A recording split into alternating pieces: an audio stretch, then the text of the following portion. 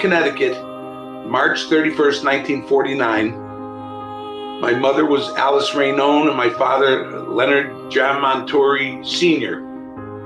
at St. Mary's Hospital in Waterbury, Connecticut. My mother always laughed. She would tell me a story. She said, I think when I was born, I weighed nine pounds, 11 ounces. And, you know, usually when, the baby's born, they, do they keep you in the hospital like three days or so. And she said, I was nine pounds, 11 ounces. And when I came home from the hospital after the three days, I was nine pounds, 15 ounces. They called me the baby elephant because I all I wanted to do was eat. And she told me, she said, she finally got a, uh, a quart beer bottle and put a nipple on top one bottle wasn't enough for Big Lenny, you know. Yeah, I, I, was blessed. I was blessed from the start being born into my family.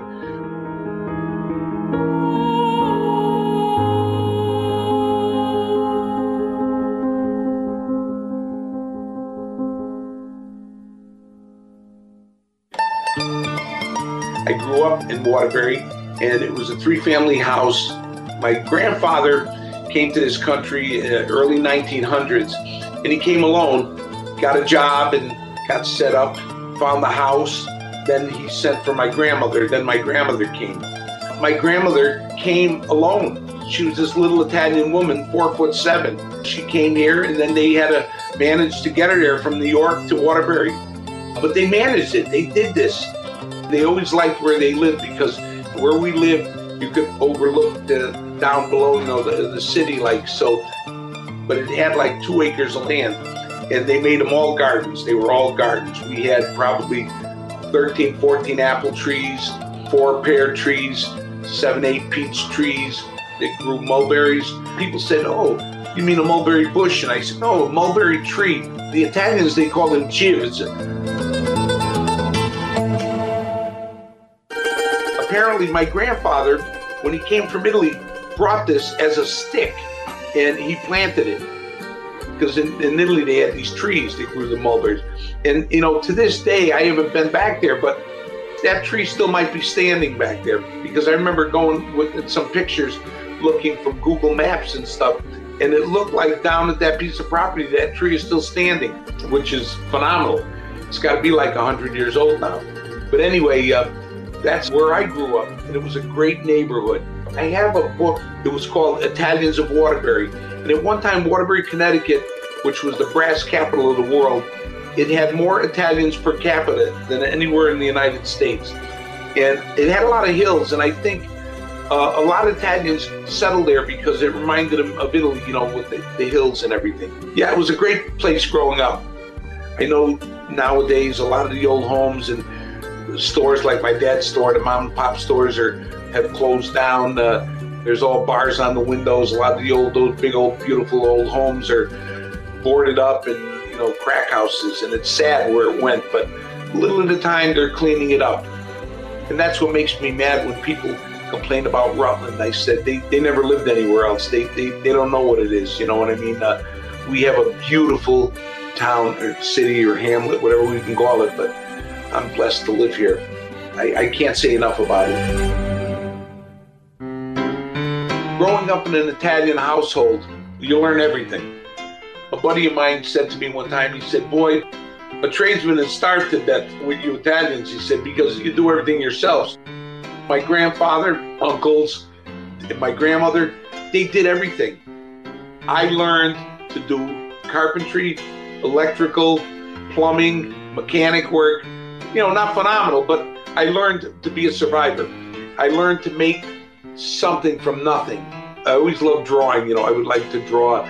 I was a doodler. I was always, you know, drawing something or making things. I love to invent things. As a kid, I would take the toys apart. If I got something, I had to take it apart and see how it worked and then put it back together again. I love to work on a project, fixing things and doing things. I love restoring something. Photography, I love photography. Uh, I love taking pictures, and I probably got that from my uncle Angelo, whose love was pictures and uh, you know movies. When he bought his first camera in 1932, it, it's nice to have. I learned to cook, and uh, you know I learned tastes. I always loved food. I mean, I, I grew up in a house that I always say Italians don't eat to live, they live to eat. Everything is planned around a meal. My mom always worked in the factory, so at a young age I would cook. You know, I'd make stuff and I, I create things, and I loved it because I watched my grandmother make things. As a little boy, when she was cooking, she'd give me a project to do to cut the beans or to clean this lettuce or from the garden or the tomatoes and and when we made sauce and when we made pasta or you made sausage, you know, and, and the Italians did everything by the moon. They went by the moon, just like the tide.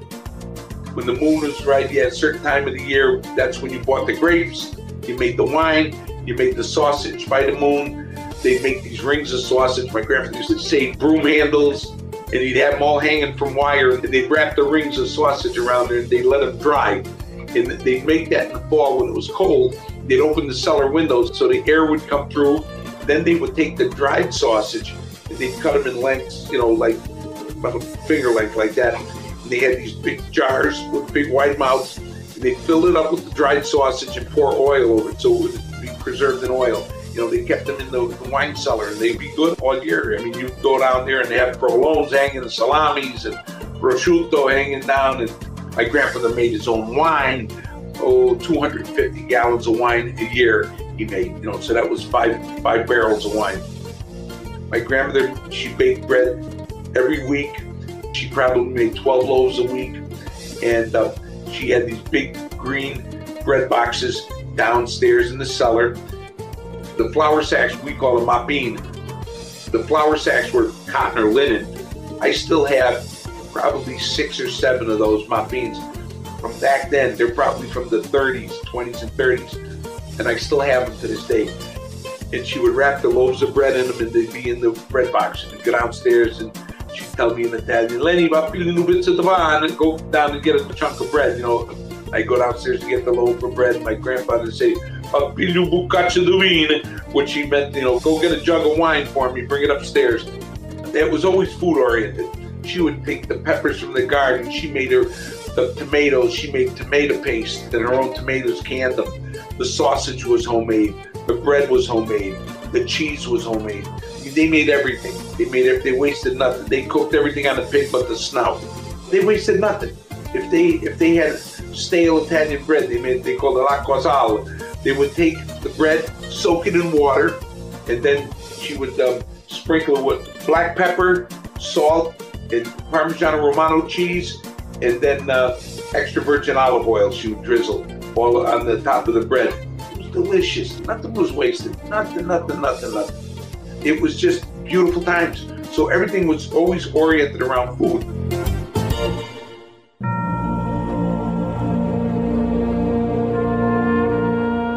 My grandmother had an old stove downstairs, an old Glenwood stove, up, gray and white, up on legs, you know, those old stoves, which to this day, I still own it sitting in my barn. I have it up in the back. When I moved from Connecticut, I took that stove out of the cellar. That was after my grandmother had died and I was moving. She was a nice lady.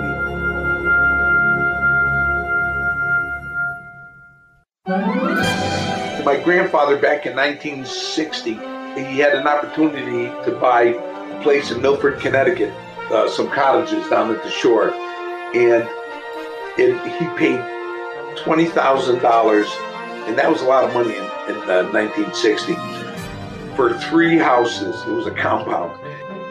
There was shorefront in Milford, Connecticut. It had their own private beach that belonged to that property, and um, there was a cement bluff in front of the 16-room house that went out. It was 65 feet long by about 30 feet out, and when high tide came in, the water came right up to the steps. You walk down the steps, you're in the water, and the waves would hit the wall, and it would splash up onto the patio back there. I loved it. I mean, we went down there. They needed work, and we worked on it. The family, you know, my grandfather, and my uncles. Um, I remember as a boy, my uncle Joe and my uncle Frank. I lived upstairs from him. He was on the, the first floor. He lived with my grandparents. My uncle had a, a it was a 57 Chevy pickup truck. We would get in there, we'd load all the tools that we needed, and we'd get out to the beach. Probably took us about an hour to get there. But we would drive down there and we would bring food and, and dad jugs of wine and stuff, and we'd, we'd work all day, you know, like painting and uh, I remember putting up fence or breaking the, you know, whatever, getting the stuff ready because you had to board up the houses for the winter and so on and so forth. In the springtime, you had to take all the boards down and stuff over storms in the winter with all the driftwood and things would make a mess. You had to rake out the beach. There was always a lot of work. But then I would go when school got out. I spent my whole summers at the shore. We would get out. Geez, I think we got out in May back then. But we would get out and then went back to school around September the 6th. And I remember it'd be hard for me to put shoes on because I'd be barefoot for the whole summer. My, my feet would be so calloused I could die out cigarette butts on, you know, with bare feet. I mean, it was a lot of fun. But that's what it was, you know, that you did everything, you know, you worked. So I, I really, really enjoyed that. Uh, but, it, you know, because number one, it was family. We'd have a painting party. Everybody came. My grandmother would make pots of sauce and pasta, and we'd, we'd all work and uh, together. And uh, it was just, uh, it was, it was wonderful times. You know, it was just wonderful times.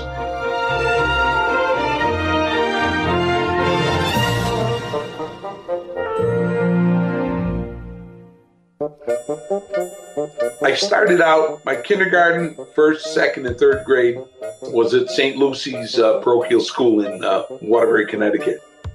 My father had the store, and my mother didn't drive, so he would have to like close the store, or if he had a helper, somebody to stay there, or my mom would stay there. This when they were still together, he would have to come and pick me up, and uh, that's when I had transferred to Mary Abbott School, which was right across from my father's store. But growing up at St. Lucy's in Catholic school, it was funny because we had the nuns and everything. Father Scalia was the pastor of St. Lucy's, and he was he was an old timer, and God bless him, he was a character. When you made your first Holy Communion, you had to go to confession, and I remember the older kids would tell us they would they, would say uh, when you go in there, tell the priest. Uh, say, uh, you know, bless me, Father, for I've sinned, and you know, name sins, and, and say I had impure thoughts and I did impure things, and, and we'd say, well, what do you mean? Just tell him that, tell him that, and go like that. We'd go in there and you'd say that, and he'd go, what? What'd you do? And he'd come out and grab you by the ear. He'd come into the confessional and grab you. I didn't know. We're telling because the older kids said, say that, and we'd say, okay, okay, we'll say it. Now we're cool one of the older kids. It was just hilarious. Again, it was an Italian parish. So there was um, Father Farino was the uh, the principal. Uh, there was Father Evampato, Father Evangelista, great guys. But I remember getting in trouble, and I think it was Father. It was Father Farino. He was a big Brooklyn Dodgers fan and loved the Brooklyn Dodgers. And I was like in third grade, and one of the kids, Harold Higgins, we got in trouble. He brought a dirty magazine like a Playboy or something, or Esquire. I don't know. It wasn't real hard, you know, but he brought it to school and the kids, we, we got caught with it. We were looking at it. He's showing it to the kids. And the nun brought us in by the printer's office, and we had to wait. She said, "You wait until he comes in your in the office." He was downstairs doing something, and she put the book on the, the desk, opened up to the centerfold, and sitting on his desk when he came in. Right, So he comes in and he sees that, and right away, you know, we're little kids. We're trying to act like a little boy here. We're, we're going in for the big time, right? So his love for the Dodgers, right? Right away, I go, "Hey, father, how about them Dodgers? See the game last night? Oh yeah, geez, you see so so hit the right zone. He starts over there and he goes, "All right, get out of here. Don't let me see this in here again." He goes, "Don't ever bring nothing like that to school again. You should be ashamed of yourself." And that was the end of it. Yeah, going to St. Lucy's was was something else. Of course, like in anything, the older kids are going to tell the kids stupid things.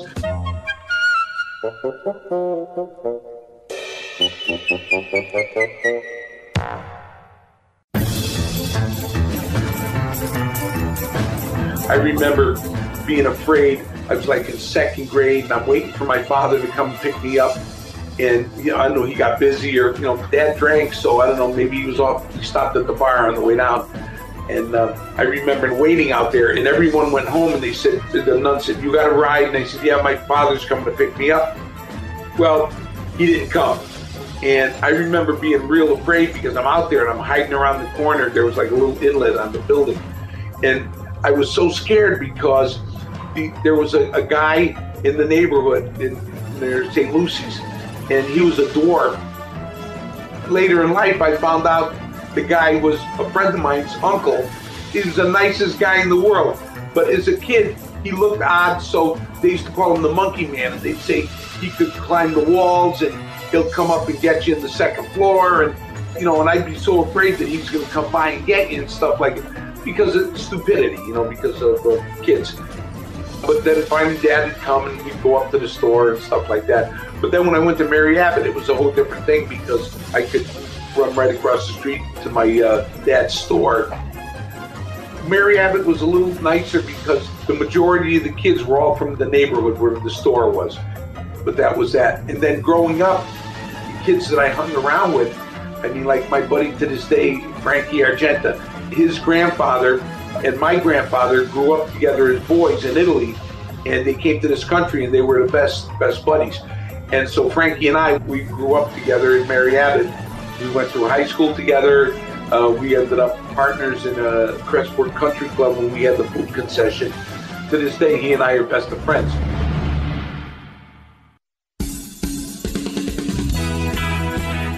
When I went to high school, I went to Kaynor Tech, which was a technical school, and I took drafting. I took mechanical drafting. A good friend of mine, Harold Zaccanini, who got rest his soul, Harold's not around anymore, uh, had a Vespa. And we used to go to school on the back of the Vespa. And Harold was only like five foot one, five foot two. And we'd go to school and somebody say, Hey, Lenny, bought a Vespa. I said, No, I didn't have That's Harold's Vespa. They go, Well, where was he at? I said, He was on the front. You can't see him. But so I, I ended up in the drafting shop, but I wasn't a school kid. I was a dreamer. I mean, I guess if they tested me today, I had you know ADHD because I, everything bored me. You know, I, I like articles. I, to read a book, I would start with the first paragraph, then I jump down to the fifth paragraph, then I go to page six, then I go to page 50, then I go to page 100, then I then I look at the like, yeah, yeah, yeah. But that's the way it was. But anyway, um, I would be daydreaming about doing stuff or building something or uh, things like that but I had a high mechanical aptitude. It was a technical school, so I scored very high on the mechanical aptitude tests. I was more for the math and the sciences and stuff. I didn't care for English and social studies and history. It was, yeah, it's okay, you know, but I could do the work. I just didn't, it bored me. And I was like, what am I going to do this for? So I'll never forget going into my senior year, my strength and materials course, Mr. Brown, his name was, I was failing going in. I mean, I had like a, I think I got a 10. I put a big zero at the top of the page. I drew a picture of Snoopy stuffing the big zero into a, a doghouse, like pushing it into the doghouse, because I was bored. I'm like, I don't want to do this here, right? So, anyways, when we were going to have our final exam, I was failing strength and materials. I was going to have to repeat the year if I failed that. And uh, so I knew I had to learn it. So that night I went home. The guy who lived on the third floor also was a math teacher. He taught it. So I told him, I said, I got to learn the strength of materials. And he crammed. The next day I went through the exam and he said to me, Mr. Brown, he said to me, you know, Lenny, he said, you got the third highest mark in the room. And he goes, and I know you didn't cheat because there was nobody to cheat from there because nobody else scored like you did. And he said, so the bottom line was you learned it finally. You knew what you were doing. So he passed me in the class. But, you know, I got through high school. College never interested me. I never wanted it. My mom, she really couldn't afford it, but if they would have found a way, I could have gone to like state college or something. You know, they had community colleges back then. It was funny because my first job, was working at a place and they were doing structural steel. So it was like all that stuff that with the beams and stuff. I had to use some of the stuff looking for beams. But then I went from there and then I took another job at Allied Control uh, and I was doing electromechanical drawing, drafting. And I stayed there for, I forget how many years I worked there. And, but it bored me. I didn't like it. You know, I did the job, but it was, it was, I didn't like being in an office and just doing that, you know. So, uh, but I got through it. And, uh, but then after that, I, I, I, got out of there, and that's when I went, like, you know, decided I wanted to uh, sell cars, and that's how I got in the car business. And then from there, I went into the restaurant business.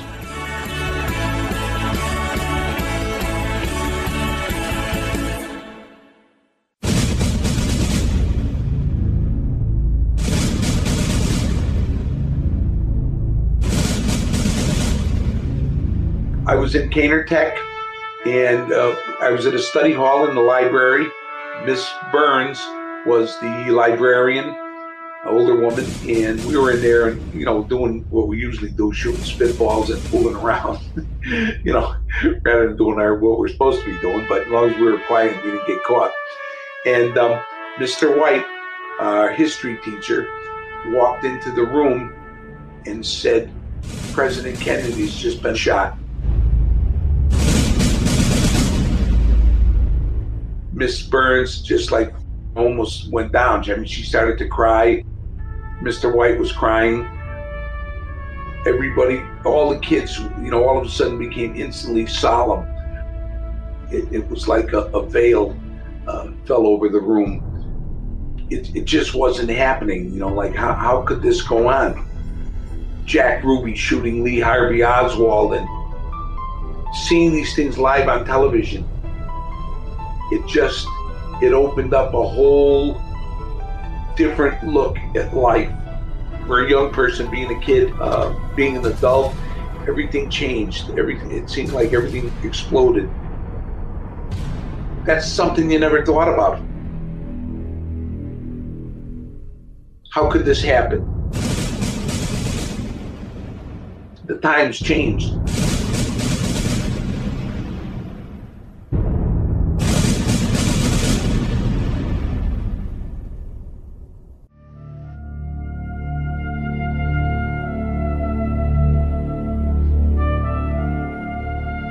We decided long ago that the dangers of excessive and unwarranted concealment of pertinent facts far outweighed the dangers which are cited to justify it, or to withhold from the press and the public the facts they deserve to know.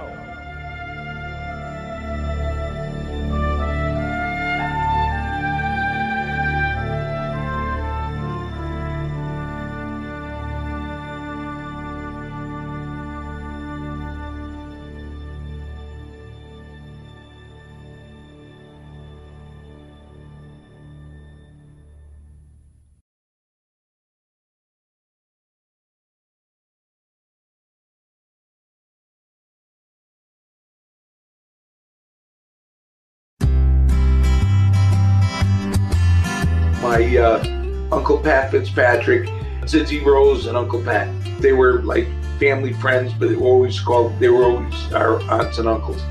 And uh, he loved Jack Kennedy. Oh my God. It was like the second coming of Christ, you know, and he worked for Scovill's Manufacturing.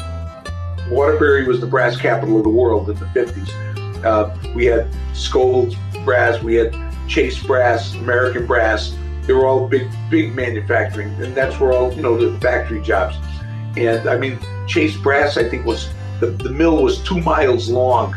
Scovill's had put up this big sign. I remember it was uh, on top of the shop, and it said Scovill's. My uncle Pat, you think he designed and paid for that sign the way he was so proud of where he worked. We'd have to drive over there and see the sign, the new sign that Scovill's put up. The letters must have been eight, ten feet high. You know, big sign that said Scovill's in red letters that lit up red. But he cried like a baby when Jack Kennedy died. I remember the sadness, and uh, it was like he lost a family member. You know, and and he, oh, he was the best. You know, and I I missed my uncle Pat so much.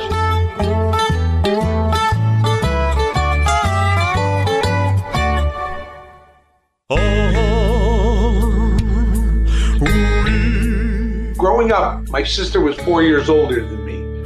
So the music that she listened to, Elvis Presley and stuff like that, I loved that music because even as a boy, I was in the fourth grade, she was in the eighth grade, and I, you know all the, the music that she liked, the rock and roll coming up, I really appreciated that. That's where it started. In our house on the third floor, the tenants that lived upstairs, Marilyn and Ed, they were older than me, of course, but they always had jazz. I would go upstairs and hang around with Ed. Marilyn worked for uh, Music, and uh, I really started listening to a lot of jazz, and that's at a young age, too.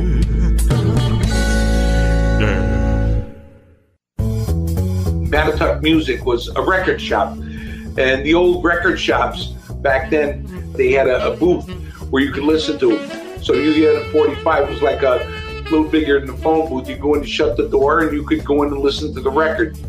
But as I got older, I loved Motown. I remember in 1967, I bought a, a KLH stereo. And back then, that's before KLH was bought by Singer, but it was phenomenal. You know, turntable, tuner, speakers, 300 something dollars, but I remember it was phenomenal sound. Then, of course, coming to the Beatles and stuff, growing up when the Beatles hit, uh, it was big. I loved Rolling Stones and the Beach Boys and, you know, all the usual ones of that era. Uh, I have a, uh, when Susan was sick, one of the nurses, the hospice nurses, was our age, and she made a uh, couple of uh, CDs for Susan to this day I have it in my in my car. You know, I listen to it quite a bit. Yeah, I enjoyed that. Some days I'll have opera, and I love blues. You know, old whiskey blues, uh, Bessie Smith, T-Bone Walker, Lightnin' Hopkins, uh, Billie Holiday, Nina Simone. I, I love the old blues and stuff, and uh, those uh, blues singers. Shoot, shoot it, shoot, shoot, I love acapella. I love uh, some like the Persuasion, Street Corner Symphony. That was a great album. In swing, I was into swing for a, long time. I had a lot of the big band sounds and stuff. And then, you know, in the 70s, all the disco and stuff. Matter of fact, I was listening to the other day. I had the Pointer Sisters going in the car. I was listening to it. I'll, I'll just pick up all different ones I love. But yeah, I love music.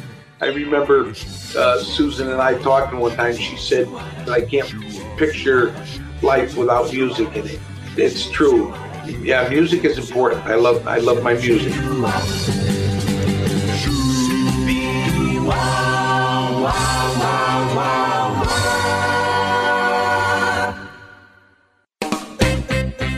Growing up, I remember because of my age in the 50s, you know, our TV, we had, you know, the small little round screen. God, I don't think it was uh, 11 inches, black and white. But you'd sit around there. There weren't a lot of shows, but we would watch the Ed Sullivan Show and the Three Stooges, Amos and Andy, uh, Abbott Costello. Those were all great TV shows. My grandfather, they spoke broken English.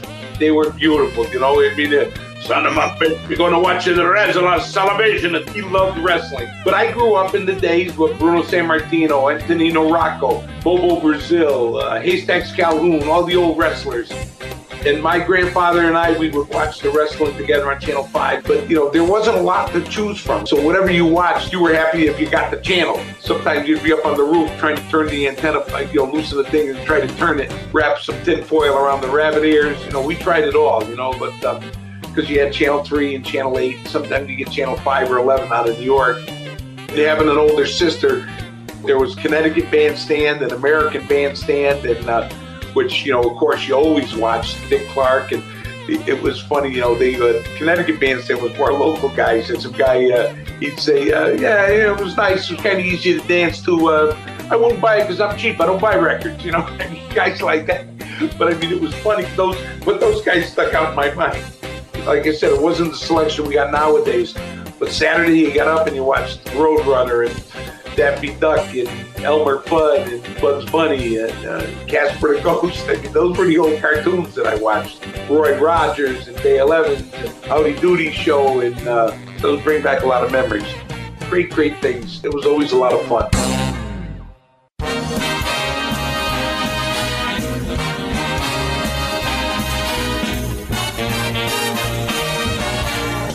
My father had the grocery store. It was a butcher shop, and he always had a rack of comic books there. They were like 10 cent comic books. My sister always had all the Archie and Veronica and all those. And uh, but I mean, I had all the Superman and uh, superhero ones, Casper the Ghost ones, and Woody Woodpecker, and as you know, a young boy, stuff like that. But I'd come running through the screen door at my father's store, right to my uh, left as I ran through the door was the Drake's coffee cake stand. He had all the Wonder Bread and the Hostess cupcakes and stuff. And I'd grab a devil dog or a package of uh, Hostess cupcakes or snowballs on, on the way to the candy counter. And then I'd go in the back and I'd wait on customers at the deli and uh, I'd slice the cold cuts for them. And uh, back then, American cheese, 35 cents a pound. Bologna was 39 cents a pound. Boiled ham, 45 cents a pound. 22 cents for a quart of milk. You know, loaf of bread was like 17, 18 cents or something. Then we sold candy, Italian ice. It was right next to the school, so I would go over at lunchtime and I'd go over there and I'd wait on the kids. I'd sell the penny candies and matter of fact, some were two for a penny, like the red hot dollars and Italian ice. I'd go scoop the Italian ice, nickel a scoop, 10 cents, you got two scoops, 15 cents, you got three scoops of Italian ice. After the lunch rush, you know, everybody was on their way home to eat lunch, they got their candy and stuff that they wanted. I'd uh, go in the back. My dad had a little electric hot plate. Him and I would uh, cook. There was a place, Coney Island Lunch. It was down on uh, Bank Street in Waterbury. They had like a meat sauce, so we would make them at the store and we'd make a meat sauce and make a relish or something and make an onion sauce. And growing up, that's that's where I got the love. I always used to make you know the nice homemade toppings. So when my friend Reggie asked me about the, the hot dog thing, I was like, yeah, buddy. And that's when I started making my relish and, and so on and so forth, you know.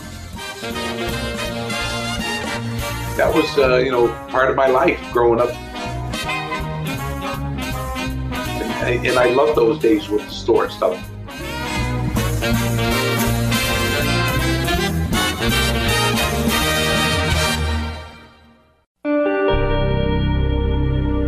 Dad got rid of the store in uh, 1963 because all the big stores were opening up and he was a neighborhood mom and pop store. You know, when people didn't have the money, they come in, hey Lenny, you know, I need a loaf of bread, quart of milk, uh, quarter of a pound of boiled ham, and uh, you know they charge it because they didn't have the money. But when the big stores opened up, they went and bought their big orders down at the big stores.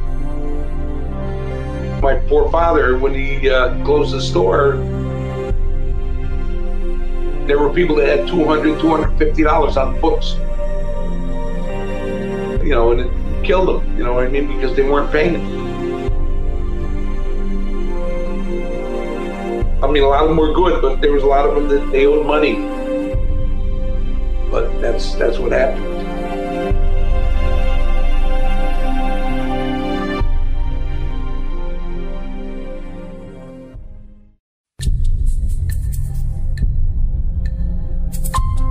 Dad was a good man, but he had some demons. He had a drinking problem. He'd get abusive to mom and black eye or cut nose and mommy what happened? She said oh honey uh, mommy walked into a door mommy fell you know and i grew up thinking my mother was clumsy what did i know? If i was older it wouldn't have happened. He and mom got divorced when uh, i was seven years old but um, you just don't understand. You know, I, I remember my dad coming to the house and all his stuff was out on the sidewalk and I was sitting on top of the pile and crying that, you know, what, where are you going? You know, like you're seven, eight years old and how come your dad's not home no more? You know what I mean? And uh, I didn't understand. See, I didn't know until later after my parents got divorced, you know, what was going on.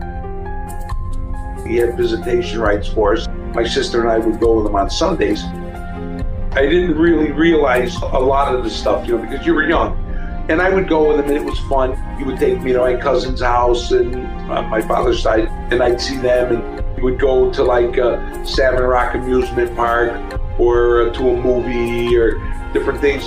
But then there was also every week when we went, part of the, the trip was hitting all the bars. You know, I mean, he'd stop, he'd go from bar to bar to bar, and uh, not all the time, but a lot of times it was.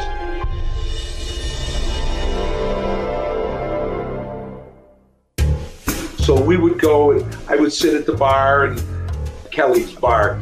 You give me an order of French fries or drink the birch beer on tap. Oh, it's delicious. I played a bowling machine. I love to play the bowling machine. You know, that's what I did. We went from bar to bar, and then sometimes we'd end up going to a strip club. You know what I mean? And I remember there was a place on Meriden Road called the Headquarters. It had a tank outside, and I always thought that was wonderful.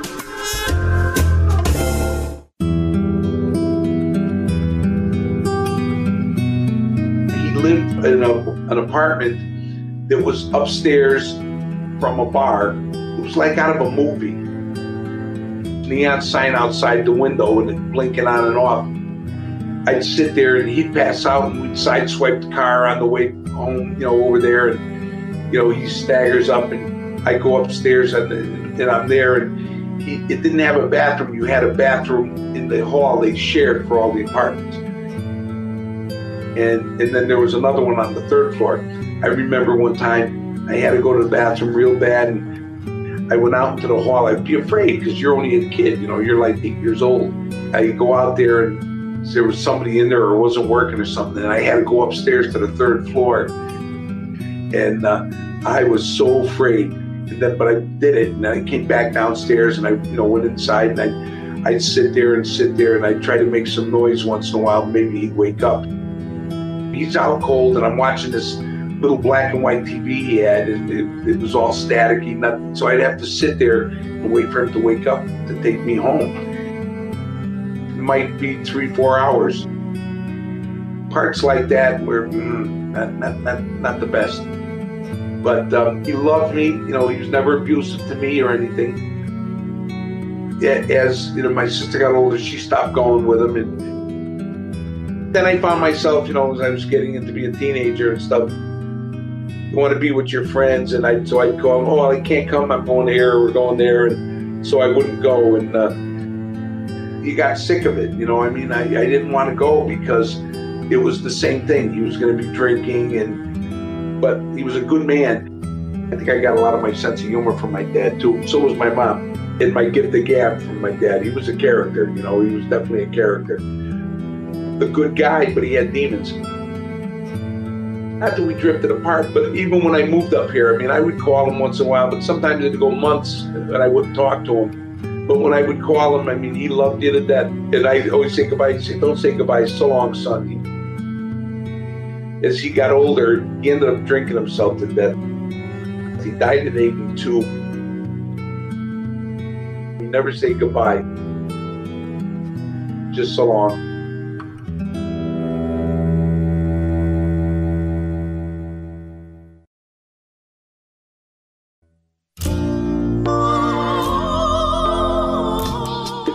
Tough, but it was it was fun. You know, I mean, it was fun growing up because I had the love of my family and my mom and my grandparents and my aunts and uncles. And uh, I give my mom a lot of credit, boy. She raised us kids. She worked third shift in a factory for 38 years. We always had nice food and nice, good clothes, and she took real good care of us. Brought us places, you know, what she could afford, but all the cousins and stuff. She always took us to the Ice Capades and Peabody Museum and it was a beautiful life because I had my grandparents downstairs. I grew up in a house full of love. We all sat around the table and uh, all the cousins came and the aunts and uncles, and we all ate together on Sundays. Homemade pasta and roasted chicken and potatoes and veal cutlets and chicken cutlets and big trays of food, and it was beautiful. And the kids would all go outside and play in the yard, and uh, all the all the men would play bocce out on the lawn. It was a close knit community where I grew up. All the neighbors were like family, you know. Just beautiful, beautiful, beautiful times growing up in, in, in that uh, that era and stuff, you know. I wouldn't trade it for the world. Wouldn't trade it for the world.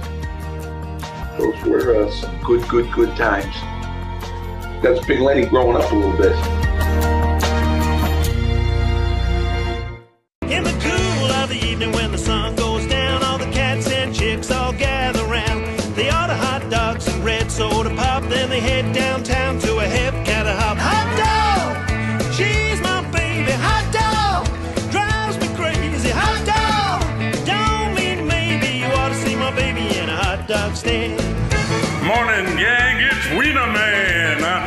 Here to serve up some dogs.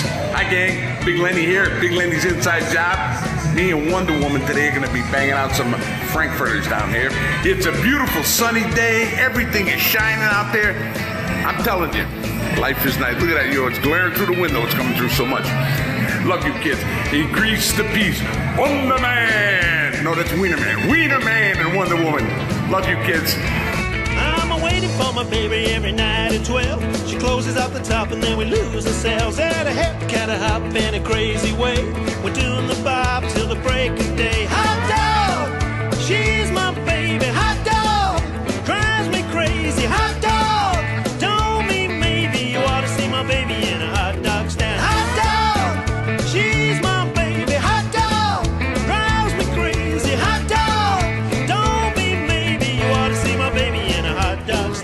Happy Wednesday, Hot Dog Gang. It's me and Boo Boo. We're going to be the Blues Brothers. Okay, that's it. How do you think of that? We got our shades on today, me and my boy over here. We're going to see, we're going down and we're making some tasty food over here. Boo Boo's here every day. Put the chairs down. We're ready to go. I love you kids. Stopping to see me. Big Lenny's Inside Job. Increase the peace.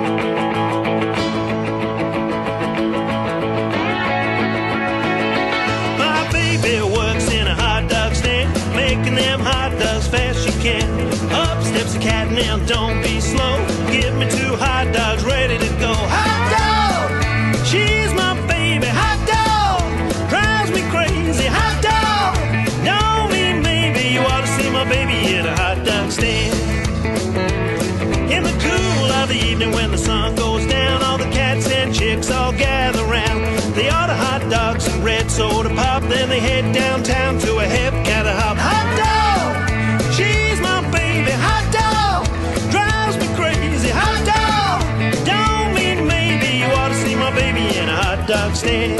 Hot dog.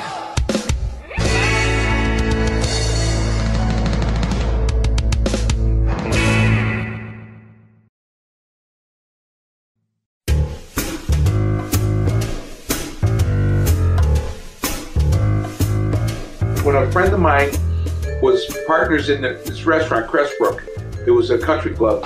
He called me, and his partner, you know, was drunk all the time, and the guy was ruining the business. So Frank called me and said, "Lenny," he said, "Would you like to be involved with this restaurant?" You know, he said, "You know how to cook," and I said, "Oh yeah, sure, I know how to cook." But I didn't realize when he said I know how to cook, I know how to cook for friends or family. You know, oh, we're gonna make pasta fazool, I'm gonna make uh, lasagna, I'm making baked stuff ziti cooking for a restaurant's different. Party of six, you got a party of two, you got a party of four, you got three deuces, and you know you got chicken cordon bleu, you got a, rare uh, New York strip, you got uh, shrimp scampi, you got scallops florentine, and they all got to come together. Well, we take over the restaurant. I'm there. Oh, I know not a cook. Don't worry about nothing, right? Well, we go there. The the chef, supposedly the chef, you know, the guy's there, and I'm, I'm observing. I'm like a bull, you know. I'm 30 years old. I'm a young kid, so I'm I'm in there, and uh, This guy's cooking, and he's throwing the food on the plate, slopping it all up and everything. And I said, "Easy, buddy." Here, I said, "Make the plates neat. You know, clean the edges, place it on there. Don't make it sloppy." And he said to me, "He goes, I'm the chef." He goes, "You don't tell me what to do." And I said, "I don't, do I? Huh?" I said, "Well, how's this? I send your paychecks." And I remember at the end of the line where stoves were, the broiler, stove, the flat top, there was a, a door that went out into the deck that overlooked the pool at the country club. And there was like a drop down to a bunch of bushes and stuff. I remember I grabbed the guy by the belt, by the back of the neck.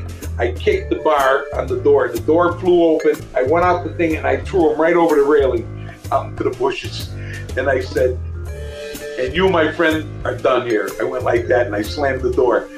And my partner, Mike, comes in and he's going, Where's the chef? We're all backed up out there. I said, Don't worry about it. I, said, I threw his out over the railing. I said, We're, I'm done here with this guy. And uh, I said, I'll take care of it. Well, it was like a madhouse. The orders are coming in. You got to have timing. I didn't have, I knew how to cook at home. I didn't know how to cook like that. So I'm over there and I'm trying to, you know, keep up with the orders. And you put them up on the slide where the heat lamp is. And I remember, come pick up your order. And I go to pick it up and put the dish up there. And when I pushed it over, the whole tray fell over, dropped everything. So I had to make it all over again. I was like livid. I was I was shaking. I was so you know I I didn't know what to do. I remember there was a young kid working a dishwasher. I said, "Get me a double Jack Daniels." So he, the kid's shaking. He's afraid. He goes running out. He comes back with the Jack Daniels. I throw it down. I say, "Go get me another one." I threw that down. I remember I punched the wall so hard that my, and I, like I said, I was a gorilla. I punched it so hard it went through the sheetrock. Thank God I didn't hit a beam because I would have broke my wrist. It went through the sheetrock and come through the sheetrock on the other side of my arm. Well, anyway, long and the short of it, I struggled that night. We got through it. At the end of about 10 days, I was doing 100 dinners on a Friday night. And I had it nailed down. I had the timing down. I had it all down. And it's just that that's how I learned. It was a hard knocks. I got thrown into a mess. And I, you know, you put your nose to the stone, you don't quit, and you just go for it. And that's a good thing in life. You know, kids should learn that there. You just push through things. You know, don't say, I can't do this. You know, it's like, don't give up. You know, I will do this. And, that's how I got through it. And that's that's how it went.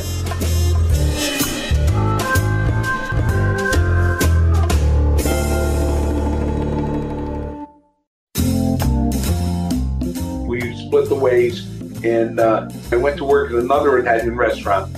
So I was working two jobs. I was working a regular job and uh, worked there in this Italian restaurant. That job went, and then I went to work with my buddy down at uh, his other place was um, Judge Peel Office Supplies. I worked there, you know, like working on the floor and selling some stuff, making calls on people, selling office supplies and things like that. And, uh, right after that, we moved to Vermont. I, uh, I had met my first wife. We got married. We were living down in Connecticut, and it was the first year. I got married in 79 and 80. We decided to move to Vermont. She wanted to go to Vermont, so uh, we came up here and we used to come up on vacation. I used to stay at the Red Clover Inn or the Tulip Tree Inn. Uh, so I got to know the owners around in Phoenix Schutz that owned the, the Tulip Tree Inn, and uh, Bonnie and Dennis Talagnan who owned the Red Clover. And we were up here camping on a vacation. We were over at Calvin Coolidge State Park in Plymouth, and uh, we were up in North St. Johnsbury. Guy was going to hire me. uh, He had a manufacturing company.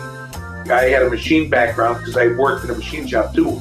I worked for Pratt Whitney Aircraft and I worked for Benedict Manufacturing and stuff. So I knew how to run machinery and you know in the drafting. So he said to me, you know, I could use a guy like you for you know some in the office, some on the floor, you know, working. So he said, but I want you to realize we get six months of hard winter up here. There's no movie theater, there's no mall, you know, it's, it's St. Johnsbury. So anyway, I said, okay. So I got the job. She went to the, the medical center up there and she was going to get a job there. She was going to get hired. But on our way back, we stopped at the Red Clover in Killington and I ran into Bonnie Talagnan and she said, oh, you're from Connecticut and, you know, blah, blah, blah. I said, oh, yeah, we were going to come for dinner tonight. She said, weren't you a chef? And I said, yeah, I did. I worked at, you know, as a chef for a while and things changed because Bonnie said her husband was looking for an assistant. I ended up saying, okay. Two weeks later, we loaded up our truck and I moved up here. Once I got there, Dennis was like, didn't want to, it seemed like he wasn't sure. So I would wash dishes, I would wash the pots. I come in in the afternoon, I do a little bit of prep, peel the carrots, potatoes, and then clean up the dishes. He had a kid, Carl, was working with him, and they put out the food. Well, I remember it was a night, it was real busy. They were getting buried in there, and I'm just standing there. I'd go home at six o'clock. So I, I went behind the line. They said, well, what can I help you? Where are you at? So I jumped in. I said, tell me the rest, how you make it. So I want to be consistent because consistency is important. So he told me what the way he wanted it. Boom, I'm banging it out and we're putting the food. We got through all the rush. So he said to me, uh, you bake? And I said, yeah, give me your recipe and I'll, what you want done and I'll do it, you know. So then he, he said to me, okay, so start coming in. He's going to put an ad in for somebody else to wash dishes and stuff.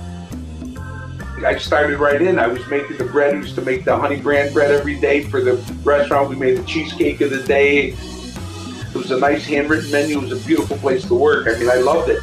And uh, I worked there for about six, six and a half years. I worked there until I moved on from there.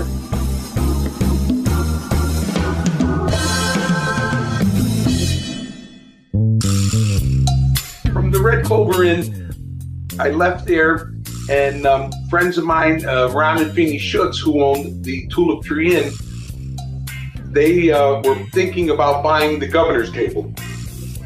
It was next to Royals. And I called them up and said, listen, I'm in if you want me for a chef. So I went there. They had a daughter, and their daughter was getting older, and they said they didn't realize. They said it's you know a lot more than we had planned.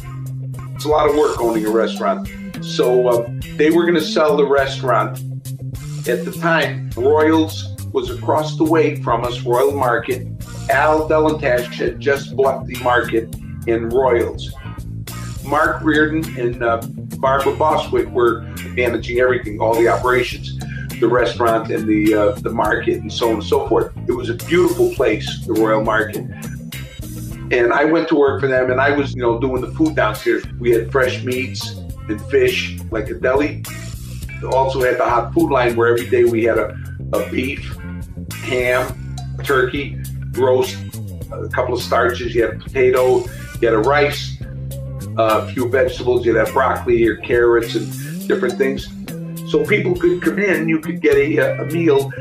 Say you just wanted to buy a, a nice piece of cod and uh, you want to buy a, a side of scalloped potatoes and a side of broccoli and a side of carrots make yourself a salad at the salad bar, your beautiful fresh meat, the pepper steaks or uh, beef bourguignon or something over rice. And we always had soups. You go home and you had supper. So that was nice, you know, and it was a beautiful spot. And they had Ashbells was the restaurant upstairs. It was really a nice operation. Everything was, you know, a lot of good, talented people there working. You know, Mark and Barbara uh, were, were, very sharp, and then and then Al Delantash was getting out, and um, you know, he gave me like two weeks um, severance pay, and he said to me, he said, you know, Lenny, you know, we're going to close the place or or sell it. So I went to work for um, Little Naples up on the mountain. It was across on Route Four, across from Churchill's. I called Louis and uh, Louis Giuliano, and I went to work for him. And I, I stayed there. I think I was there a good six years as well.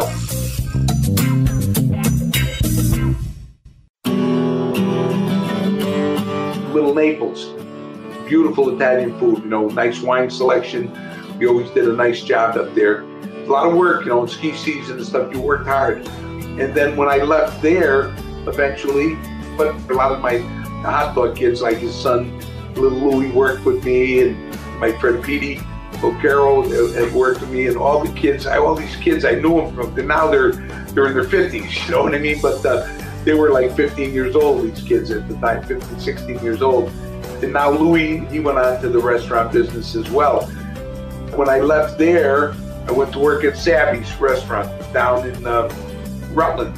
I went down to work for Ronnie Savatasso. So when I went down to work for him, uh, they were pretty much a sports bar, but you know they did spaghetti, meatballs, stuff like that. But it was pretty much a lot of sports bar men, you know, like fried foods, you know, uh, hot poppers and ribs and stuff like that.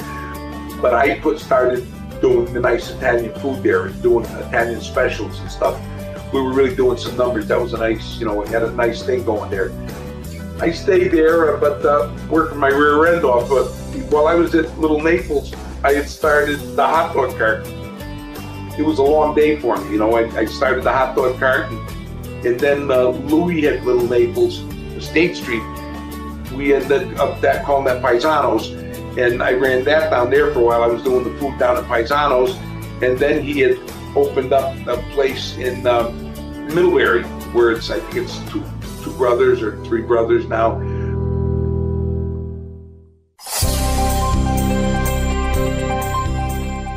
Middlebury. So I was up there cooking and I'd go back and forth. So I'd run the cart and then I'd come home, break down the cart, and I'd drive to Middlebury and I'd, I'd be on the little tape recorder, I'd be making the menu up specials and stuff, talking and, and you know what I had to do, orders and stuff.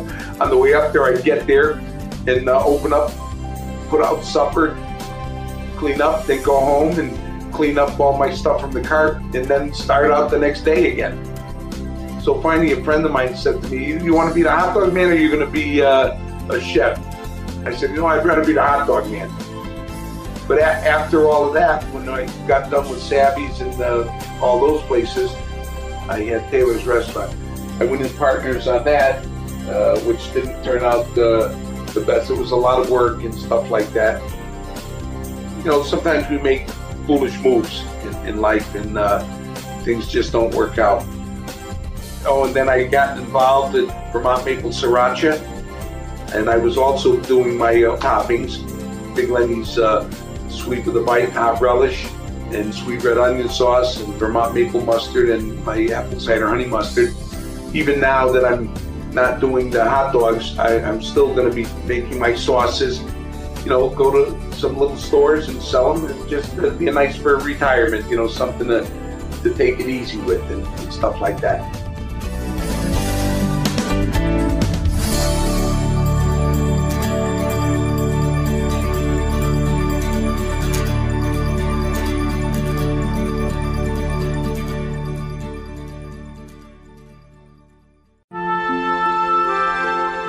Ex-wife and I were together 22 years, but not to knock, but it was it wasn't. I always said we brought out the worst in each other, and Susan and I brought out the best in each other.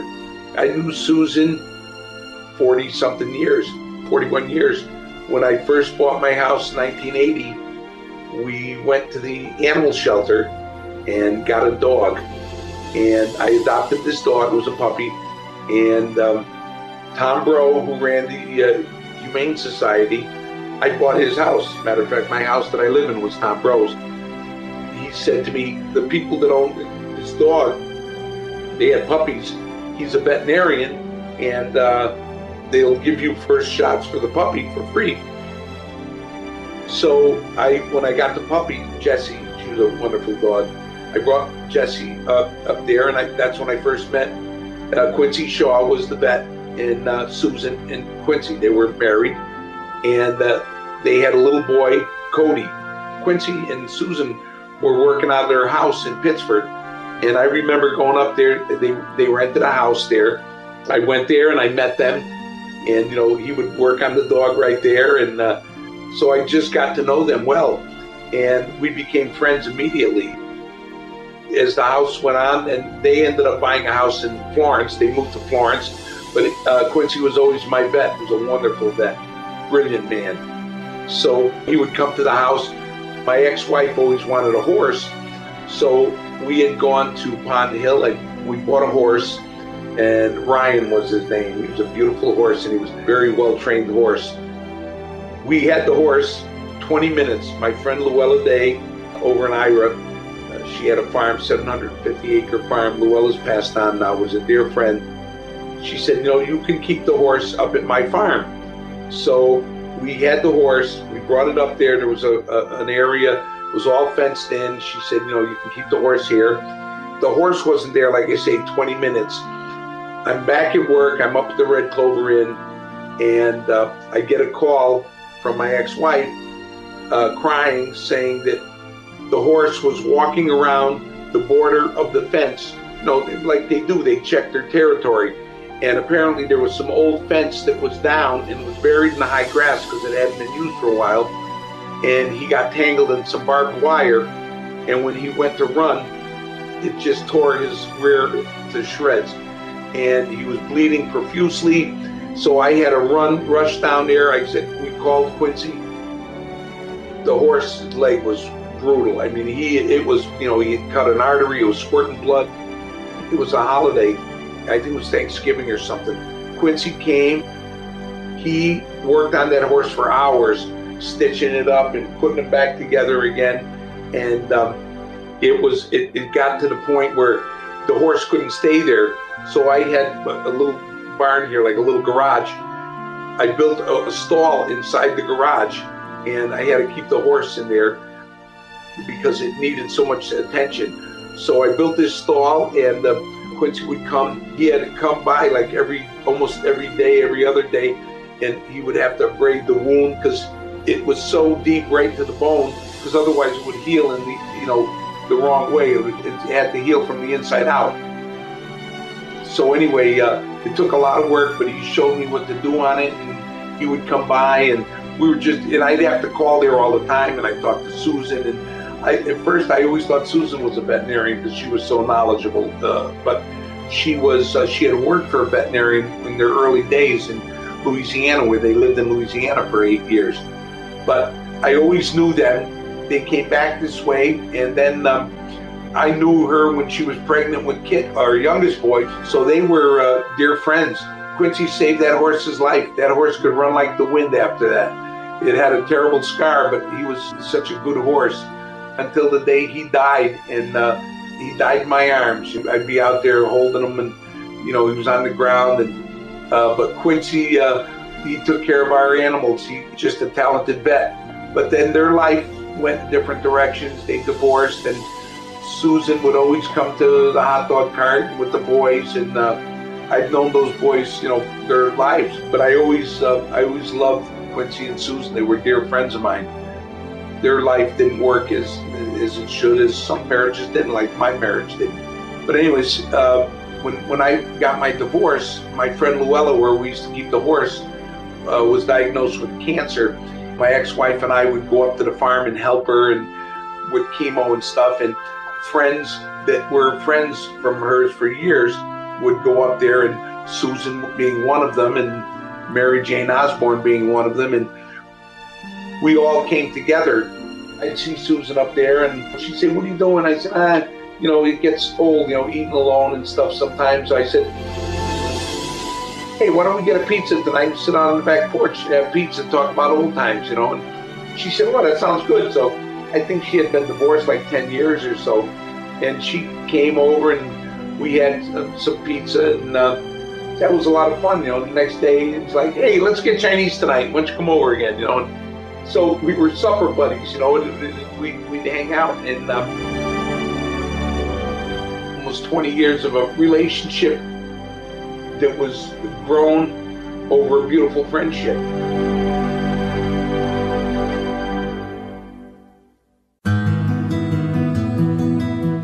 Six months, I think we were just, you know, hanging out together and doing stuff together. And uh, it was like 21 years ago on the 4th of July. And Caramias was having their picnic, and I used to go help and cook, help Roger cook the food and do stuff.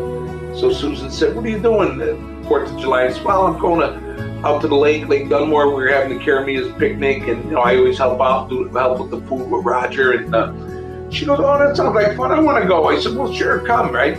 So she came to that, and we always said that was our first date. But we just like friendships, hanging out and stuff.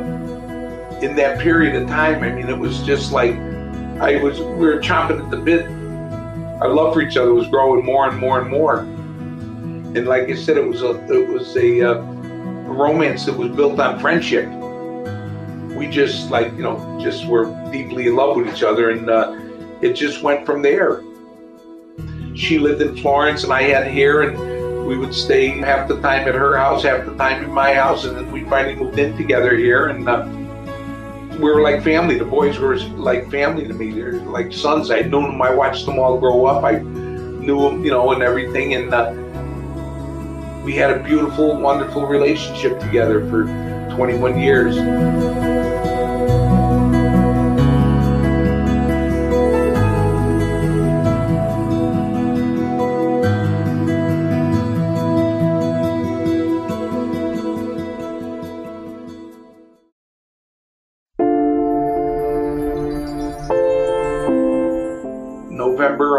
2018, she wasn't feeling good, and uh, Susan researched everything, and she'd say, "Oh, it's my histamine levels are off, and this is off," and, and I'd say, "But you know, she was coughing. She had a dry cough for like six months," and I said, "Honey, please look into that." She said, "No, no, no." She said, "It's nothing. It's just um, it's my histamine levels, you know, are, are off."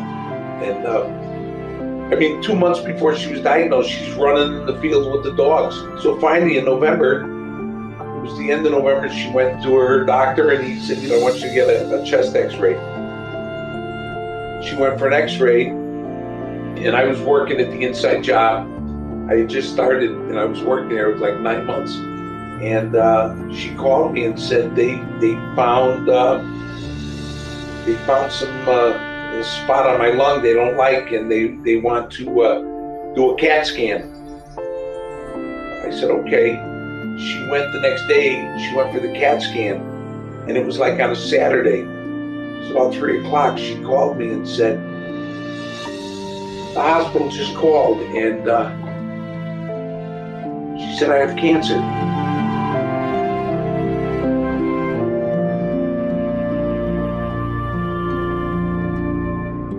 She said, uh, it doesn't look good.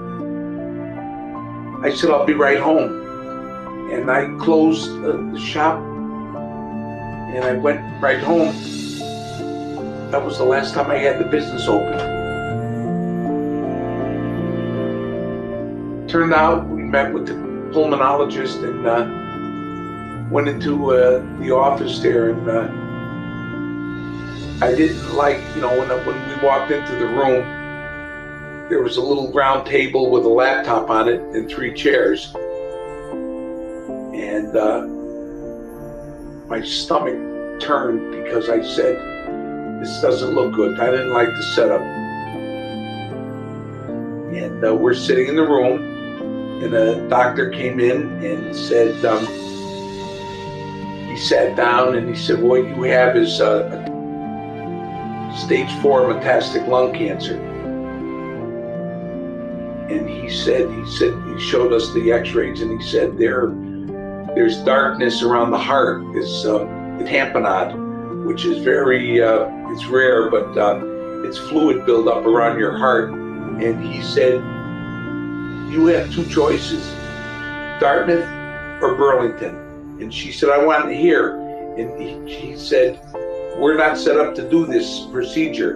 He said what you have is very serious. And it, it's got to be done, and we need it done stat. He said, you can keep going, but it, this is going to kill you.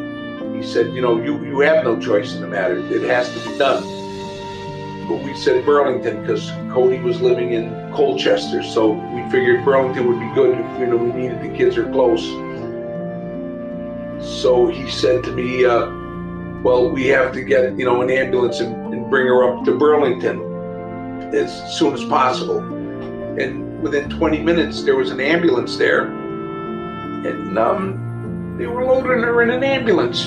And um, i remember going out to the garage where the ambulance pulls in and they load her in. I'm watching her leave. And i'm thinking to myself this whole world is falling apart. I don't know what's going to happen here. I didn't like the idea of it. She went there and talked, and uh, that night they drained fluid off there, and she called me, and geez, she felt, she sounded so good. She sent me a picture of selfie, and she said, "Oh, honey," she said, "I can, it's so good. I'm breathing good." And so I said, "Oh, thank God, you know, you got there in time and everything." And she was doing well, and it was like a few hours later, she texts me and says, afraid God's closing his eyes on me. And I said, What do you mean? She said, Now my lungs are filling with fluid, they're telling me. And uh, it wasn't good. But they were working on her, and finally, they said they, she was there for about five, six days. So I remember talking to the cardiologist and stuff, and I said, Well, what do I need to do? They said, We're going to send her home. I said, uh, Well, do I need a hospital bed or anything? And they said, No. I said, Well, our bed's on the second floor. And she said, Well, I think, you know, it'll be fine. She takes her time. She would, she used to sit on the steps and go upstairs one at a time to get upstairs. But she, she cried so much when she came, when she was just so happy to be home little at a time, she was getting better and better, you know. And they, you know, she said, well, then they were going to start the chemo. So we started the chemo. She was having a tough time with that at first, a little bit, but she was getting better. Then they came up with uh, this. There was a couple of experimental drugs that they wanted to try, but one of them they said could cause blindness. It could cause this and that. And she said, uh, "No, I'll, I'll stick with the chemo." Well, they decided they were going to change and go to Keytruda. And Keytruda apparently it trains your immune system or something to attack the cancer cells. So your own body fights the cancer cells. But she wasn't doing well with it, so she started reading about it and she read that some cases Keytruda will attack all your major organs in certain people. It's rare, but it would happen. And um, it was attacking her organs. She came back, we had to rush her by ambulance again. She had to have her, they had to put a drain in. And once they drained the, the fluid from around her lungs, she was doing good. It was Christmas of 2018 she spent in the hospital. This was like a month after she was diagnosed. It was terrible. I mean, it was just terrible. They said that it was. Uh, she didn't want to have the, this other procedure done, but they said you have to go on thinners. He said otherwise you're going to be dead. And uh, so they, they put her on this heparin drip, and the heparin it, it, was, it was like miraculous because she was getting blood clots in her legs. She when she was rushed to the hospital, her leg was getting hard, and it was twice the size of the other leg, and she had a blood clot from the bottom of her foot up into her abdomen. They said we're going to try to dissolve this blood clot with heparin. If we can't, uh, we can put this thing, it's called like a filter or something, in case part of the blood clot lets go. And it was just terrible. I mean, what she went through. But, you know, she was tough. And she got through it. She was like a tiger. She was she was pulling out of it. I mean, she started getting better again. We were at Christmas time. I I was there and we we spent our Christmas up there. The kids came and our grandson Nicky was up there and she was so happy to see everybody and you know and you'd never know two days before or day before that she was like i, I thought she was heading for the last roundup but she had the heart of a lion it just kept going and uh, when she came back then after that then i had to get a hospital bed for her but she didn't want a hospital bed she said i want a regular bed so upstairs we had we have a king size bed but we had a, a little um, a double bed on the second floor. So I took that downstairs and I fixed up the living room nice with all flowers for her and everything. And when she came home, she cried because she was so happy to be home and it was so beautiful. We had it for her. She could watch TV. She had the, the animals there, our dogs and cats. So she was doing well and she she was, you know, the chemo, she went back to the chemo and stuff.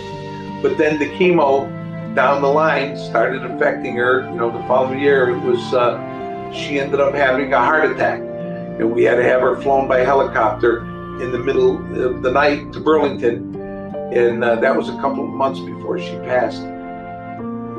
And uh, everything was just getting worse and worse. Right till the end, you know, she just she would tell me, you know, she said, "No, honey, I'm, I'm dying," you know that. And I said, "No, you're not. You're gonna get through this. We'll get through it." She said, I don't want you to worry about you. She said, I want you I want you to find someone that loves you the way I love you, and you love them the way you love me.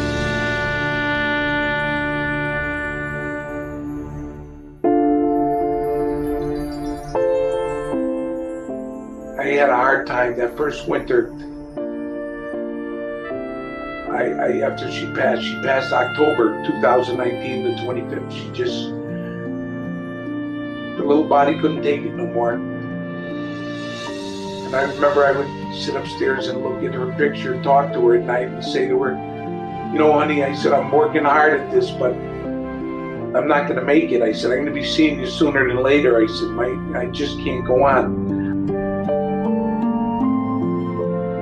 I ended up with, you know, having to, through all of that, I had had those stents in my heart because they had a blockage. I thought I was run down from helping her, taking care of her. And they uh, put four stents in me. And then I, but I always, you know, to take care of her. That's all I worried about. The boys would come here and the kid took time off from work. Cody took time off from work. And they, came, we, we circled the wagons the way you're supposed to do it. Everyone comes to help you and cares about you. Then after uh, a couple of weeks go by, they have to worry about their own lives, you know. And uh, after she had passed, I was just, it was a struggle.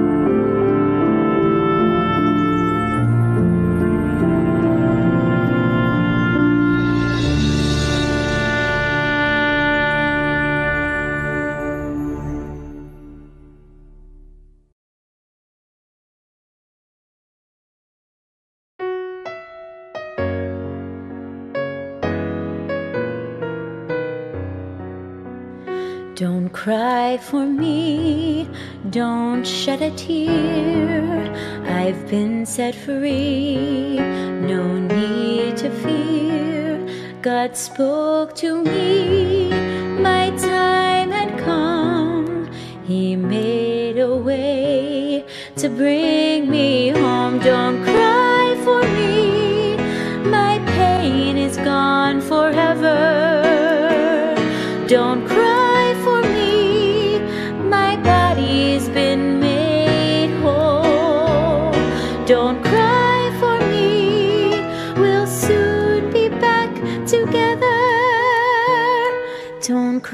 for me, I'm well within my soul. My pain is gone, please understand. My passing was in God's great plan. I'm with you still each day and night. Just close your eyes, I'll hold you tight. Don't cry forever. Don't cry for me, my body's been made whole. Don't cry for me, we'll soon be back together. Don't cry for me, I'm well within my soul. I'm in your heart, I feel your pain. Don't give up hope, our love remains. I'll wait for you at heaven's door. We'll meet again one day for sure. Don't cry for me, my pain is gone forever. Don't cry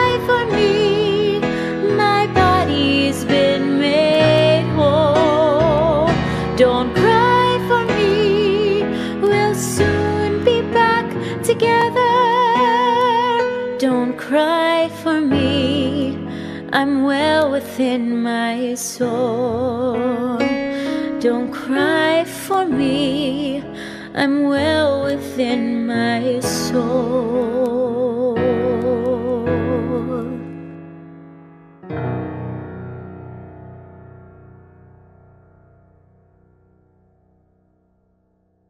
In the cool of the evening when the sun goes down,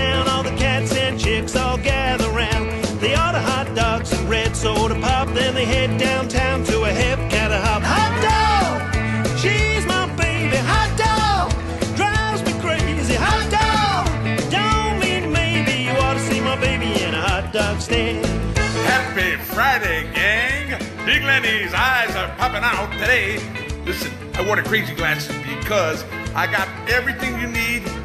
I love to see you guys. Don't forget, gang, I got the mini meatball parm sub for five bucks. You get hungry, stop in to see us. You get lonesome, stop in for a hug. I love you kids.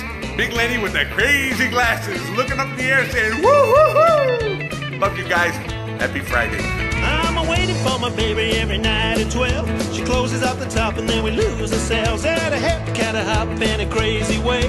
We're doing the bob till the break of day. Hot dog, she's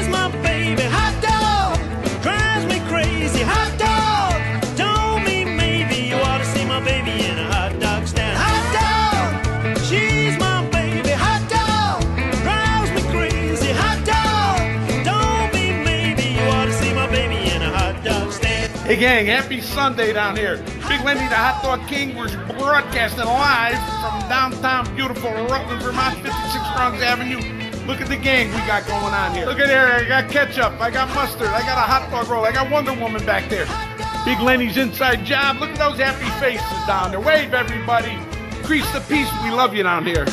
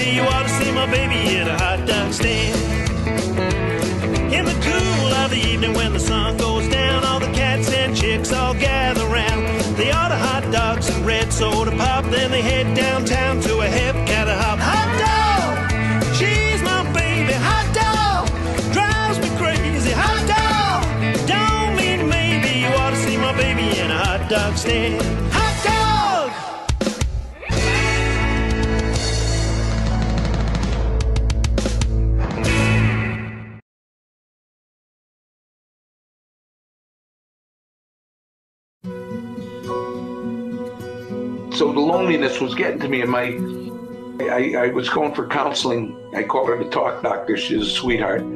Said to me you need to get into a grief group lenny. And uh, i remember joining a grief group. It, it was a big help. It changed my life you know. Meeting other people that were going through the same thing i was going through. And, and, and susan would say to me honey i want you to get organized because i'd say well i'm not that organized a person you know and she'd say two weeks before she passed, she said, "Promise me you'll get organized." And I said, "I, I will. I, I'll get." Um, there was a girl, Katie, that worked for us at Sriracha, and she was a sweetheart. Katie, the organizing lady, she came and helped me organize some book work and stuff, and I'm truly blessed. It's been life changing. Live a nice, simple life, drive some of the back roads, and uh, life was good.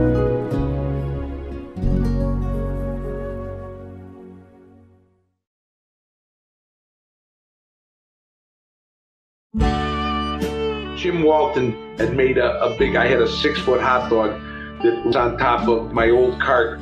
And I had that hanging on the wall, but it was all faded from the sun. And my friend Norma Montaigne, who passed away uh, last year, she was an artist and she was, Norma did a lot with the parade, the Halloween parade and the Kiwanis, and she was very loved.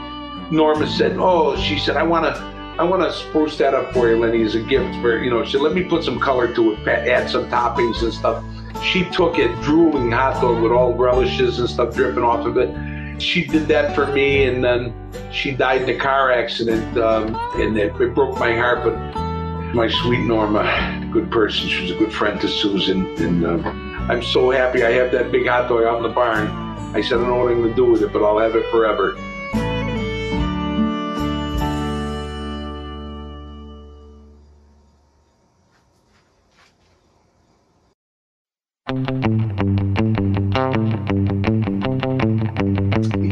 Job happened. Uh, I was 69 years old, and I was I was running the cart, and the cart was a lot of work. I wish I made the money people think you make, you know, having a cart. Believe me. They think it's so romantic. It's like the people that buy, uh, they come from down country and they buy a country inn thinking that it wouldn't it be romantic to have a country inn and they, uh, they don't realize the work that's involved. That was the thing with the cart. It was a lot of work. I mean, I'd be up at 8 o'clock in the morning. I'd have to eat everything and get it into the cart. There's only three stairs off the porch. You got to carry stuff down the three stairs, you know, the pans one at a time because they're full of hot food. Put them in the steamer, get everything going. You got to get your ice, your sodas loaded up, all the rolls, everything you need for the day. Open at 11, close at 4, but um, I'd be working till 7 o'clock at night to clean up afterwards. 7, 8 o'clock sometimes, you know, to do it right.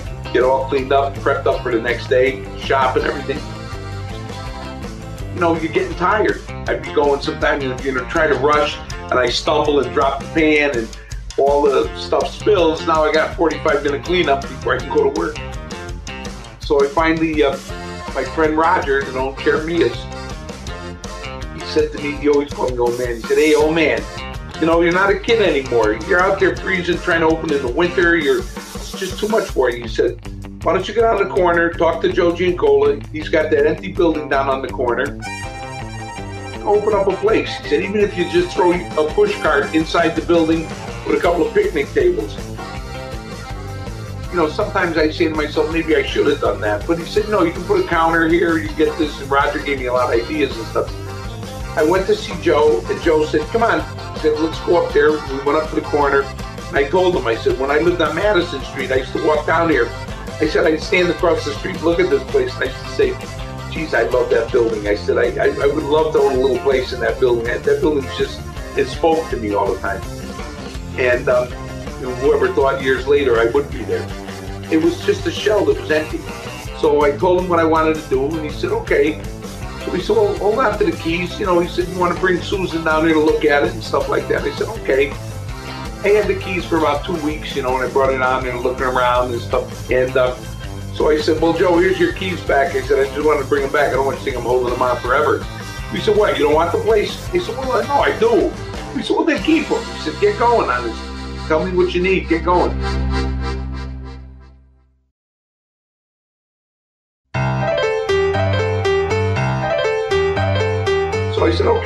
And I was telling him what I had planned. I said, I got to look for some equipment. I got to look for this and look for that. He said, ah, you go to auctions. He's telling me, check with this one, check with that one.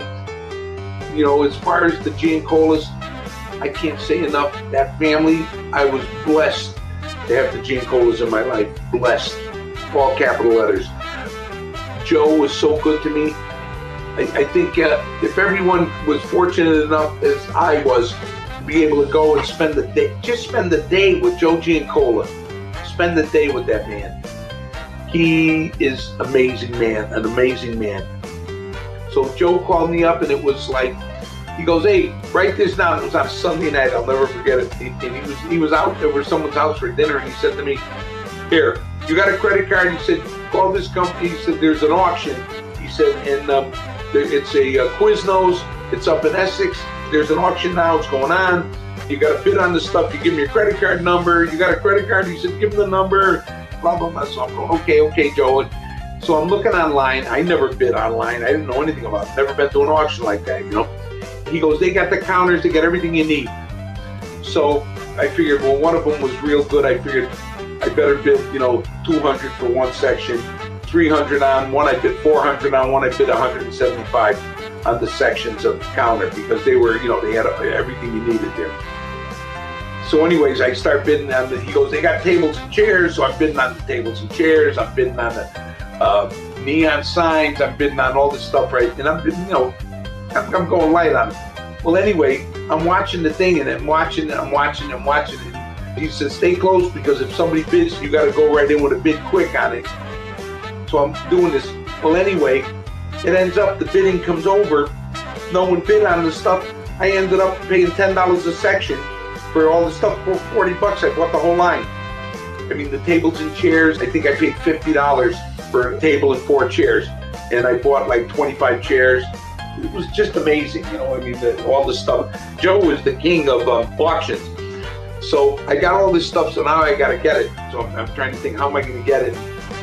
Joe goes, listen, get a truck. I, I got one of his trucks with a hydraulic lift. He sent four of his guys with me. We went up there. 20 minutes. We were in and out of that building so fast. I mean, I never saw any guys work so fast at what they were doing, taking all the stuff apart, loading the truck. We come back. Joe just was just he treated me like gold. I mean, I, I couldn't, you know, as far as I'm concerned, they're, family to me. Giancolas will always, always say, you're part of my family.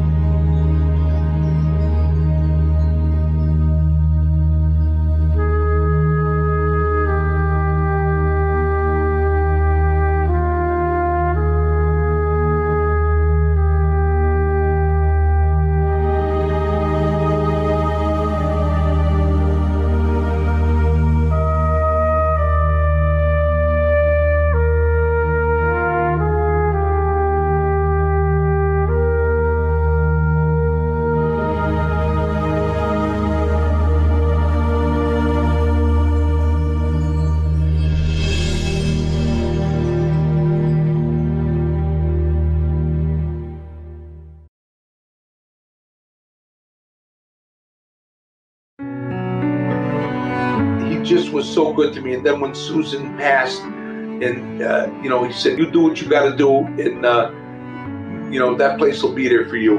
And and it came to the point where it was two years. You know, Lenny, if you want to open, David said to me, we're, "We'll help you. Everything we can do." But if you if you don't have it in you, he said, "We got to rent this place." And I said, "I fully understand." I said, "For what I owe you guys," uh, I said, "Just take the equipment." And uh, David said, "That's good karma, Len. Maybe somebody could go in there. It can help a person open a business that doesn't have the money, and they could get a good leg up." And that's what I did, and uh, it, it just uh, it warms my heart. We went in there and we took every one of those pictures, the 500 of them, down off the walls, and I got them all stored here in my garage. And every time one of my friends comes by and people I know, they come by if their picture was up on the wall, I give it to them, you know, and say, here, you know, memory of the place. Uh, again, I owe all that there to, to Giancolas. I can't say enough for what they've done for me in my life. But Rutland in, in general, I mean, it's just the people here have been so kind to me. I'm blessed to live where I live. You know, I'm just blessed to live where I live. And that's that was that. I mean, that was the Big Lenny's. Uh, it was only nine months, really, where I was having a lot of fun. I had some good help. I had um, Joanne worked. She was a retired school teacher, and, and Dawn worked with me. They were power. Uh, Dawn could. She knew the food business backwards, forwards, and she grew up in it. And uh, her son Joey helped me, and I had a couple of young people working there for me, and you know, different people working and helping me. And uh, I had a good crew. I had a good bunch of people, and I had the most wonderful customers. I mean, uh, loyal customers.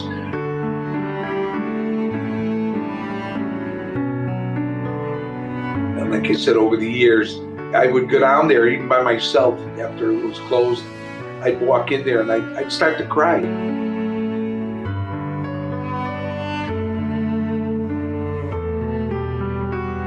I'd sit there by myself and I'd put the oldies on the sound system and I'd walk around there and look and I'd start to cry thinking about um, look what I created from nothing.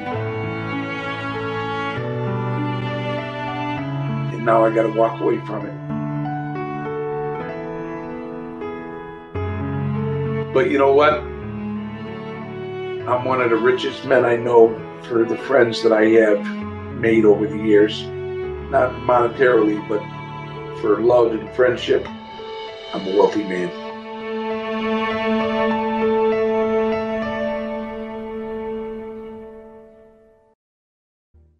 Good morning, hot dog gang. It's Tuesday morning. Big Lenny got the shades because the sun is shining. Let me tell you something. Just when I put up the open flag, it's hot, muggy. Get up here and enjoy some of this cool air conditioner. We got it nice. Anyway, we'll see you down here. Big Lenny's Inside Job. Love you guys. Increase the peace. Well, there's nothing that find. It's gonna fill you up and it will blow your mind.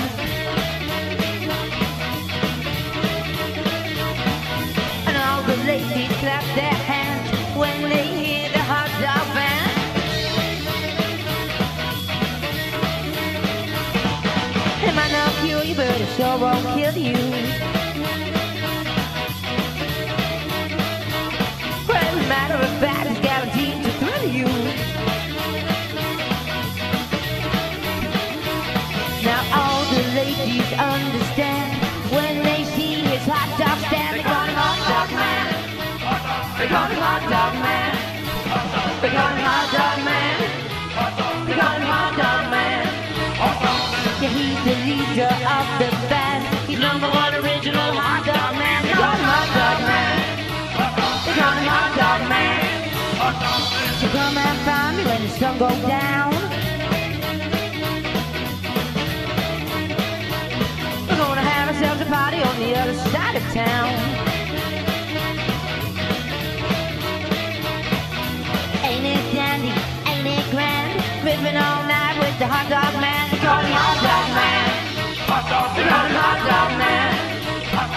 They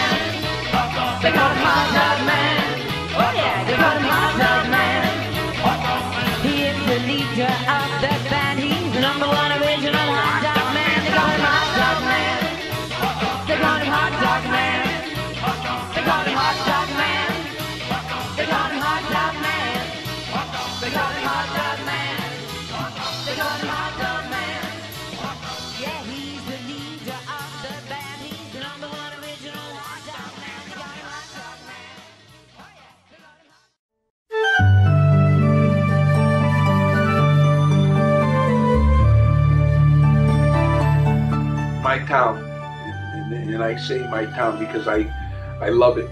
I love it here, and I love this area. I love Vermont. Susan used to say to me, she was a native Vermonter, and she'd say, "You're more native Vermonter than most native Vermonters. with Your love for this state and Rutland." And I've said it before. We get a bad rap sometimes when they had that uh, the thing about you know Rutland with the the junkies and the drugs and uh, different things and people say this and that about it. This is a beautiful community. You look and people now, they come from away, they live, you know, down country and they, they come up here. Uh, there, there's people that, you know, really, really appreciate what we have here. And then there's the ones that they come to this area and they want to build these big phenomenal homes, but then they, they want to change it all. You know, like, oh, you know, we need more of this, we need more malls, we need more this and that, you know why try to change it from what it is? We're a beautiful, homespun little place, and some of the young blood that's coming up in Rutland now, that's just wonderful people. There's just some great, great people like yourself, Ben. Everything is, it's it's coming together. I just think it's so great that people, individuals, are, are coming together in this town to try to make this best it can be. And, and they're doing a hell of a job. The downtown partnership, the uh, murals, the artwork, people like Joe Giancola, Mark Foley, who are stepping up to the plate and, and making things to try to make something and more family oriented and people helping people. The good thing I think that came out of the pandemic was it brought people together, families closer together, and to keep doing the work we're doing here. That's what it's going to take. Unfortunately, our kids can't stay here in Rutland because there's not enough for them. They need to go away. But what I'm seeing is now kids in their 30s and 40s that went away, got their education, are coming back to Rutland. And they're coming back and they're taking part of the community because they appreciate what they had here. And they want to raise their families here in Rutland now. And I think it's the greatest thing in the world. And the thing I could say is don't forget your roots, don't forget where you came from. You know, I know there are a lot of problems. A lot of people have had a lot of heartbreak here too. But you know, moving away and it doesn't. If you had a problem here, geographical uh, move doesn't get rid of your problems. Need to work on ourselves. The more we work on ourselves and realize what we have and how to appreciate what we have, the better life is going to be for us, for our families. Just be together and enjoy your family and your friends. And when you see them, tell them you love them. Life sometimes it's over in a snap. Don't have regrets. Don't say I should have done this or I should have done that. Do it. I'm saying to the parents, your kids run into a little trouble, they have a problem, don't abandon them. Help them. Help these kids. Help these kids because that's our next generation. That's who we got to help us. Make the best of life. Make the best of life and just support each other. We can do this here, you know. I mean, I know some people, you know, the way the world, the world's changed a lot from when I was young, but I see it going in a good direction. I feel um, little at a time. I said it before. There's a lot of bad in the world, but there's still more good than bad. So don't sell it short. Let's let's get those numbers up there. Let's get the good guys going. Okay. Thank you, my friend. I can't thank you enough, Ben. I um, I'm proud to be uh, to be thought of enough that that's um, people want to hear what I have to say. Um, it's uh, I'm honored. I'm truly, truly honored to have you doing it because you uh, you have a way of just you know a nice way of doing it. When I look at all your documentaries that you've done and with Ray and so on and so forth, and you're talented and uh, you you see a different side. It's it's like you want to leave your mark, and you're doing a great job of it. And that's like me. I being that the restaurant had to close and being that I went through some rough bumps in my road, it happens. But my legacy is going to be a guy that uh, that was loved because my love for people, and um, for that I'm forever grateful.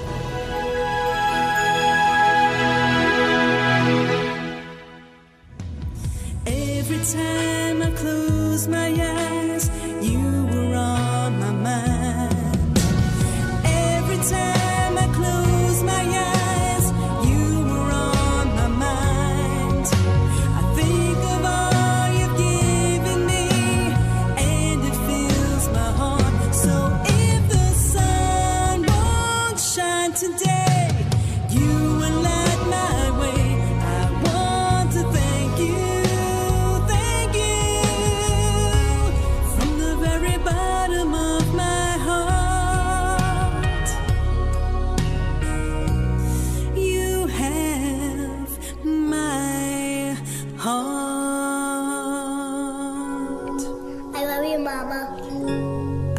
baby.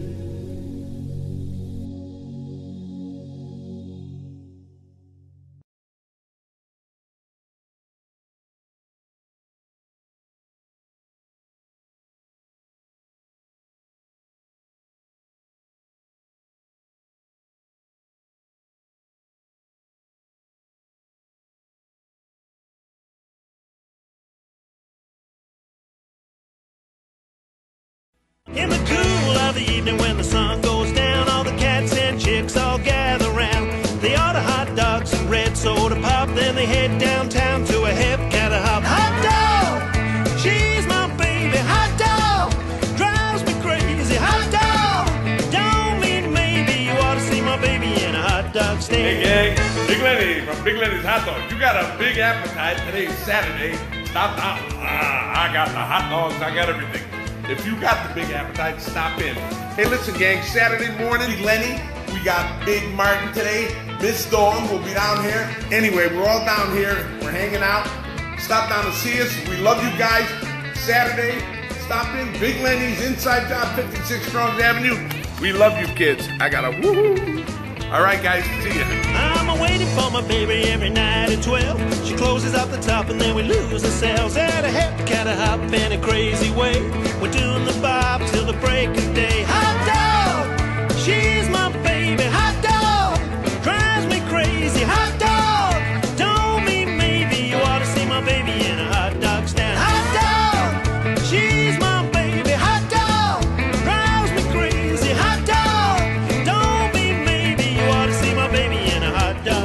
Happy Thursday, hot dog kids. The shades are on, the purple's on. Look at that, uh, Gilbert Grape over here with Big Lenny's on the front. Anyways, Big Lenny's inside job Thursday morning, sunshine and it's nice and bright. I got a pot of potatoes on. Whoa, I almost dropped the phone there, kids. I got a pot of potatoes on. We got it. You need it. Stop in and see us. I love you, kids. Increase the peace.